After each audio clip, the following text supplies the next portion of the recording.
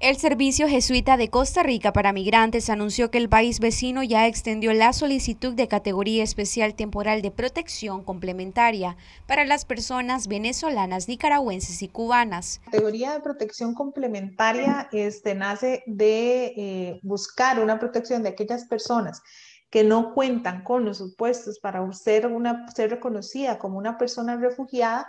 pero que por la situación que se vive en su país y por las condiciones por las cuales eh, tuvo que venirse, eh, todavía necesita una protección. Entonces, esta categoría especial es para las personas que tienen una resolución en firme negativa de parte de la unidad de refugio eh, de la solicitud que se hizo y hay unas fechas específicas para quienes pueden aplicar que este ha sido el cambio más reciente que ha publicado la Dirección General de Migración y Extranjería y que debemos tomar en cuenta. Entonces, lo primero es que es para personas que tengan resolución negativa de refugio en firme, que sean de nacionalidad nicaragüense, venezolana y cubana. Este, se extendió el plazo para la solicitud porque estábamos para diciembre de este año. Ahora va a estar para el 18 de febrero del 2022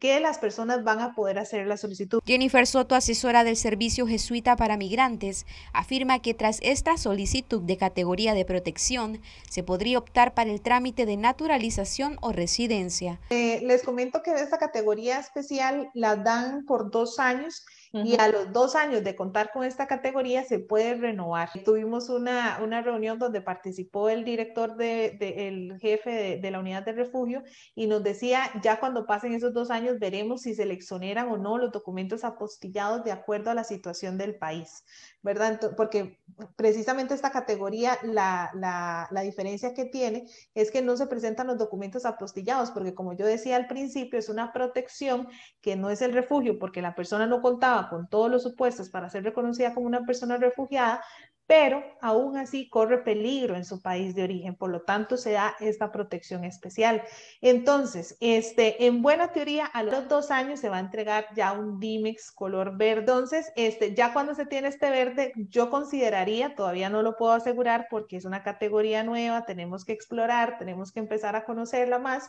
pero consideraría que sí funcionaría para el trámite este, de naturalización. Según datos de ACNUR, en el 2020 Costa Rica acogió a 121 1.983 personas de interés, de las cuales 9.613 son refugiados y 89.770 son solicitantes de refugio pendientes de resolución, la mayoría nicaragüenses y venezolanos. Para Noticias 12, Gabriela Solórzano.